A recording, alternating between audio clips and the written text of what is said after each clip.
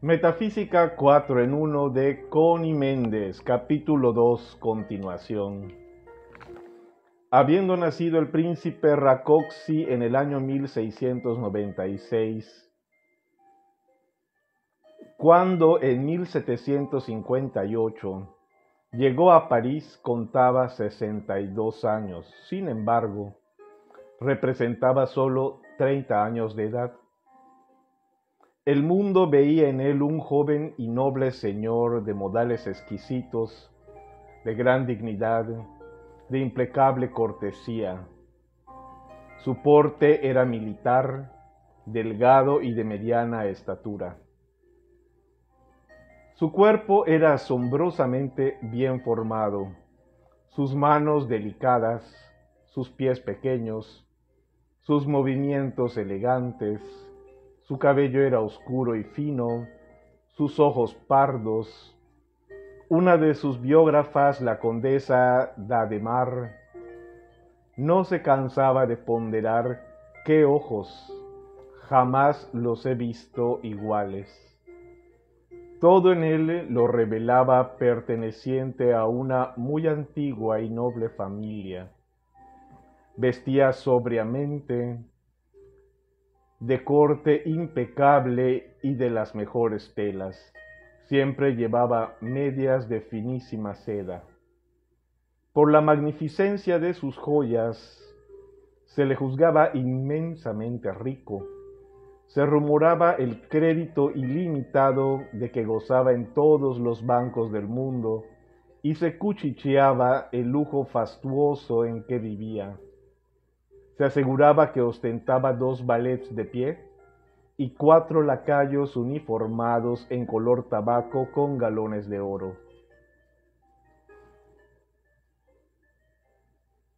Se comentaba su gran colección de casacas que cambiaba a menudo y hacían eco sus botones, yuntas, relojes, sortijas, cadenas, se citaba un ópalo monstruoso y un extraordinario zafiro blanco del tamaño de un huevo, lo mismo que la variedad de sus diamantes, el tamaño, color y perfección de cada uno. Sin embargo, cosa extraña, nadie podía jamás jactarse de haber sido recibido en la casa del conde. Frecuentaba las fiestas, pero jamás lo vio nadie comer ni beber. El conde Saint Germain presentaba la invariable compostura, la conducta, el refinamiento y la cultura que caracteriza a los nobles de rango y educación. Todo esto unido a una fascinante conversación, una versatilidad para cambiar de tono y tema, que lo hacían siempre refrescante, inesperado e inagotable. Daba la impresión de haber viajado por todo el mundo entero y sobre todo de haber asistido personalmente a cuanto ha existido en nuestro planeta. El conde era sin duda un acabado diplomático, un genio artístico, un excelente músico y compositor, que ejecutaba el piano con maestría, en, que, en, el violín, que en el violín rivalizaba con Paganini, que cantaba con una lindísima voz de barítono, que pintaba y esculpía como los más grandes, y que al parecer vivía eternamente ya que por admisión propia su descubrimiento de un líquido especial lo había mantenido vivo durante dos mil años. En Londres, en la casa Walsh de Catherine Street, en el año 1740, el conde publicó varias composiciones. Conocemos solo una, un aria de su pequeña ópera L'Inconstance de Lusa, la pérfida inconstancia, compuesta en el estilo rococó del siglo XVIII, muy bonito y muy florido. Al final damos la dirección donde se puede encargar el disco de esta pieza, que tiene además el atractivo y la corroboración de comenzar con las notas tonales de adepto, maestro ascendido San Germán, do, fa, de la quinta octava del teclado. Vamos a aclarar de una vez la razón del nombre que escogió este adepto por figurar en aquella misión. Por supuesto, no cabe duda alguna de que para que un hombre inteligente pudiera introducirse en la corte más brillante de Europa, le era indispensable un bonito nombre y título nobiliario y francés con preferencia y auténtico. Esto último tenía que ser a prueba de investigaciones. Corre el dato de que los dominios de Ferenc Racoxi en Italia se llamaban de San Germán. No podemos asegurarlo ni tampoco comprobarlo, pero algo de eso hay sin duda, ya que los maestros, teniendo el privilegio de mirar desde el pasado, hasta, eh, ya que los maestros, teniendo el privilegio de mirar desde el pasado más remoto hasta personalmente, lo hacen ya equipados con toda la preparación necesaria.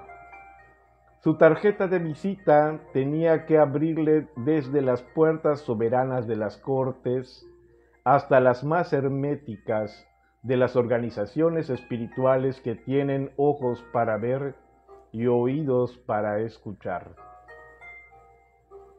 El conde de San Germán ya hemos visto cómo entraba y salía. Come Santux Germanitas. Habla en el idioma esotérico de todas las sectas.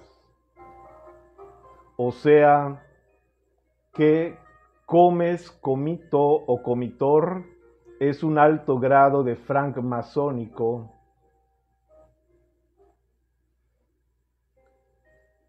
Sanctus le habla a las religiones cristianas y germanitas o fraternidad es la consigna de todos los ocultistas. Al introducirse en la masonería francesa, donde inició a Diderot, anunció que era el más antiguo de todos los masones, por no decir que había sido el propio fundador de la orden. El maestro San Germán no tuvo necesidad de elegir otro nombre para continuar con sus misiones para los humanos, ya que paulatinamente ese nombre se iba transformando de acuerdo con el cambio de las conciencias espirituales de miembro de la fraternidad blanca a hermano mayor. No estamos suponiendo o inventando cuando dejamos sentado que el príncipe Racoxi y el conde Saint Germain eran una misma persona. La comprobación la dieron los maestros cuando, a través de la sociedad teosófica, fundada por los maestros Moria y Kutumi, vino la siguiente comunicación por boca del tibetano, adepto de la Hermandad Blanca, casi un siglo después de la muerte del conde Saint Germain. El maestro que se ocupa especialmente del futuro desarrollo de Europa y despliegue mental de América es el maestro Rakoczy. Es húngaro y tiene su morada en los montes Cárpatos, habiendo sido en un momento dado una figura muy conocida en la corte húngara también se ocuparon mucho de él cuando fue el conde de San Germán. En la logia de la Fraternidad Blanca se le llama usualmente el conde. Y en América actúa como administrador general en los planos de los en los planes de los hermanos mayores. Puede decirse que actúa como encargado de llevar a la práctica en el plano físico los planes del Cristo. Para todo el que sepa leer entre líneas, esta comunicación habla claro. pero como estamos para aclarar enigmas, haremos notar el despliegue mental de América se refiere al principio de mentalismo que, aunque fue dado por Hermes Trismegisto, no se le dio la importancia capital que encierra hasta que Mary Baker Eddy, fundadora de Christian Science, comenzó a divulgarlo. Ella fue el anuncio de la era venidera, era de la mujer, a fines del siglo XIX exponente del principio mental que rige en esta era. La comunicación habla del maestro Rakoczy en tiempo presente eh, y presente y presente en el planeta a pesar de que históricamente había muerto. Dice textualmente, el maestro que se ocupa es, también dice, es húngaro y tiene su morada en los Cárpatos, que habiendo sido en un momento dado figura muy conocida en la corte húngara, de hecho admite que al mismo tiempo fue el conde de San Germán y agrega de quien se ocuparon mucho. La esencia de la comunicación afirma que al príncipe Rakoczy se le llamaba en la fraternidad blanca el conde, fundiendo sin disimulos a las dos entidades. Luego admite que el conde es el instrumento de la oeste ascendida en el continente americano y finalmente deja entrever lo que para la fecha de la comunicación no se había divulgado aún, que el maestro San Germán iba a ser el avatar de esta era de Acuario trayendo a la práctica en el plano físico, o sea, manifestándose el Cristo de la era, como se manifestó en la era inmediata anterior, el Maestro Jesús. Los adeptos no tienen necesidad alguna de reencarnar para poder circular en la tierra y entre los hombres si es que tienen que entrar en nuestra atmósfera por un tiempo corto, hacen denso el cuerpo etérico y por consiguiente visible a nuestros ojos físicos.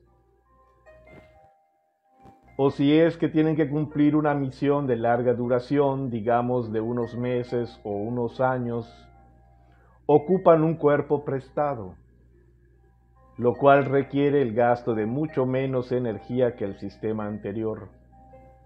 Es totalmente impráctico renacer de un vientre de mujer, volviendo con la conciencia envuelta y sin memoria, además de tener que esperar tantos años para alcanzar la edad adulta y poder cumplir una misión de altura.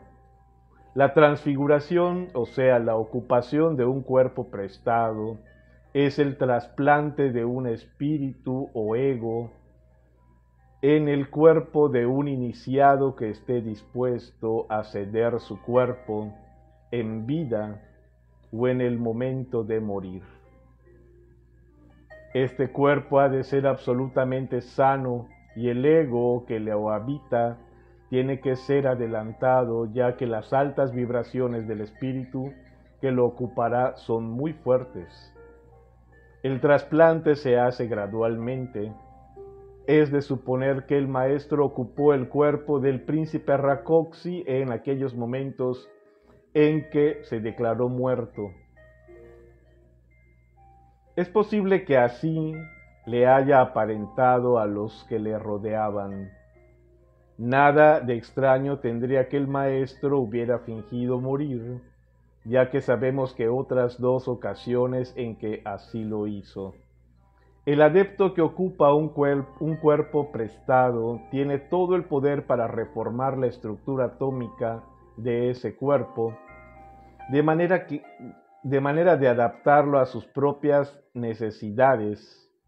Por esa razón, el conde Saint Germain no tenía necesidad alguna de comer ni beber, ya que se disponía de la sustancia universal que obedece instantáneamente e incondicionalmente las órdenes de un maestro.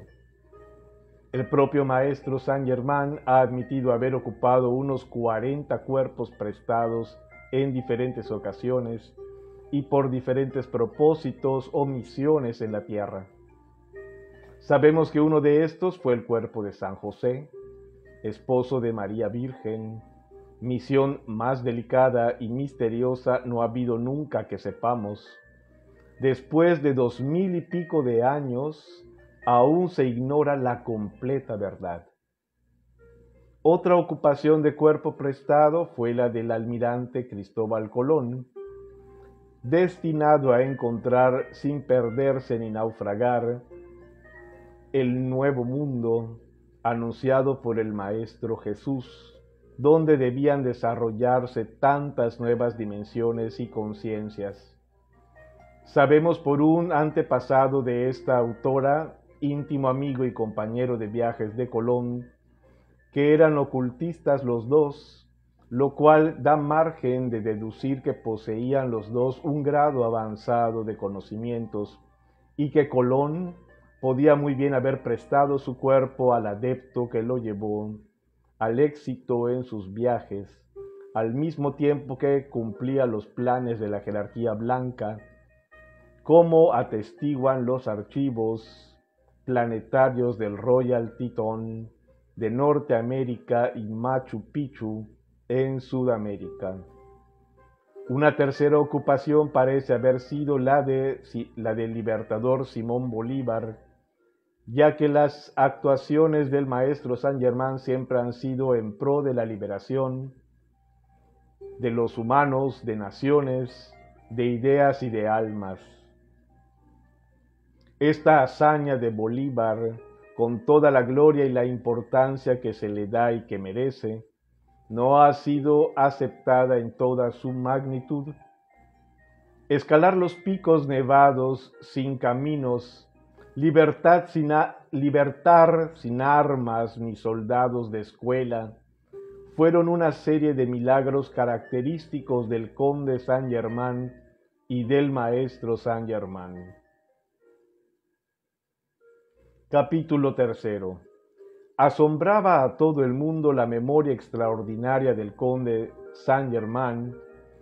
Repetía páginas enteras después de una sola ojeada Hablaba sin acento alguno el alemán, el inglés, el italiano, el portugués, el español, el francés, el griego, el latín, el árabe, el chino, el hebreo, el caldeo, el sirio, el sánscrito, muchos dialectos orientales y leía el cuneiforme babilónico y los jeroglíficos egipcios todos con absoluta maestría.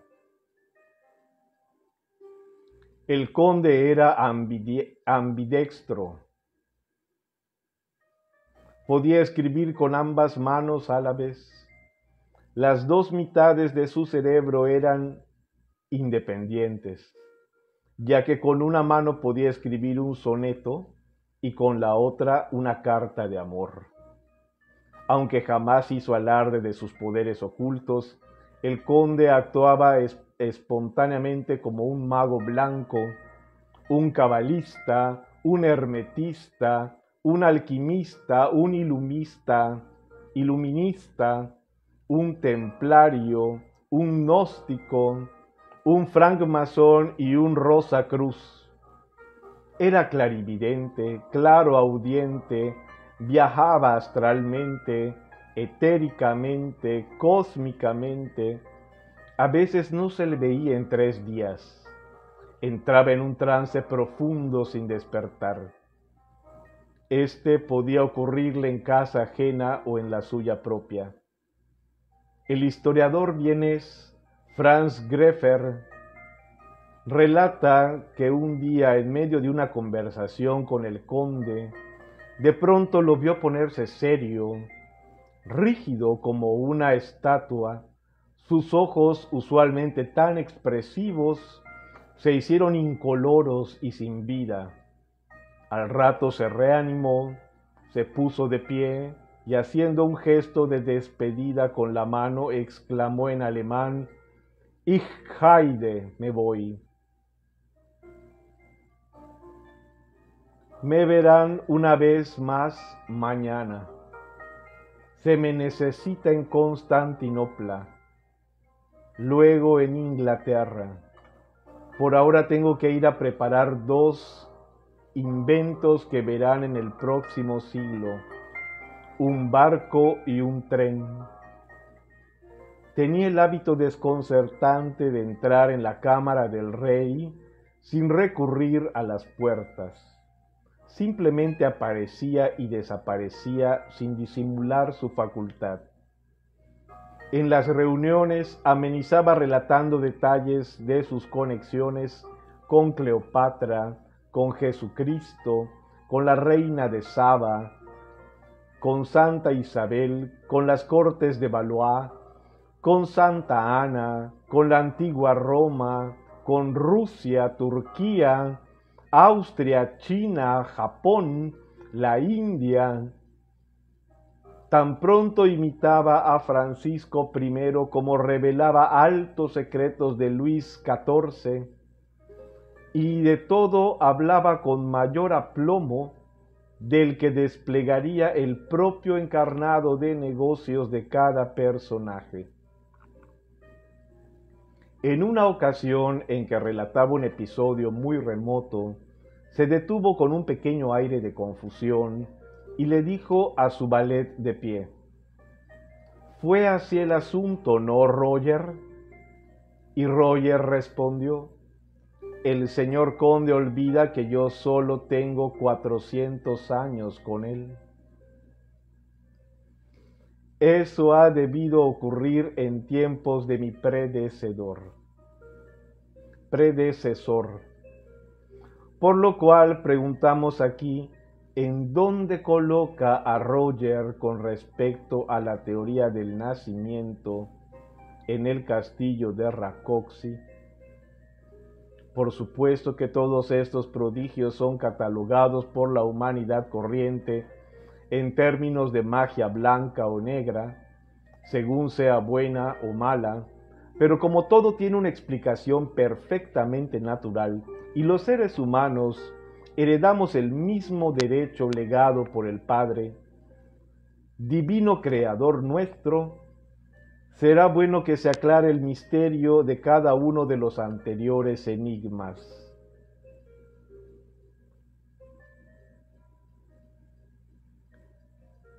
Cuando el ser humano alcanza su última encarnación en la tierra, se dice que es candidato para la ascensión. la ascensión ocurre porque la persona se ha desprendido de todas las ataduras con el planeta Tierra y con sus familiares, y al lograr limpiarse de toda la energía negativa, va llenando sus células de luz llega el momento en que la magna presencia I am, yo soy, lo atrae hacia ella y lo extrae de la tierra. Se ha vencido la gravedad de la tierra. En ese momento el individuo tiene la oportunidad de escoger la gloria o continuar ayudando a sus hermanos humanos. Es el momento en el que el subconsciente vacía su contenido y el ego recuerda todas sus encarnaciones sin sufrir molestia alguna. Además recupera todas sus habilidades adquiridas y todos los idiomas que habló a todo lo largo de su corriente de vida. Puede disponer de sus tesoros en el cielo, o sea, de todo lo que contiene su cuerpo causal, pero si el ego prefiere ascender a gloria, debe entregar todo lo acumulado para bien de la humanidad. La memoria extraordinaria no es, pues, sino la facultad natural de mirar hacia atrás y leer como en un libro o ver como una película lo que venga en gana en el pasado sin el velo de Maya. El ser ambidextro no es otra cosa que el haber sido zurdo en otras vidas. es una habilidad adquirida y por lo tanto el individuo puede escribir con ambas manos. La facultad de aparecer y desaparecer sin recurrir a las puertas es condición de los cuerpos astral y etérico. El, el, saber proyectarlos fuera del cuerpo físico se puede lograr con estudio y práctica. En vida del cuerpo físico, éste se deja dormido en un lecho mientras se viaja. Ayuda mucho el saber primeramente que al solo pensar en un lugar o en una persona, se está allí o con ella. En cuanto a Roger, es tal vez la prueba más consistente de que ambos estaban ocupando cuerpos prestados en aquel siglo. Roger manifestaba ser pupilo, iniciado y servidor inseparable del maestro. Capítulo cuarto. El, el, problema del dinero. El problema del dinero es uno de los que más preocupa a la humanidad, pero este capítulo lo vamos a ver mañana. Muchísimas gracias por hoy, queridos hermanos y hermanas. Nos vemos hasta mañana. Chao.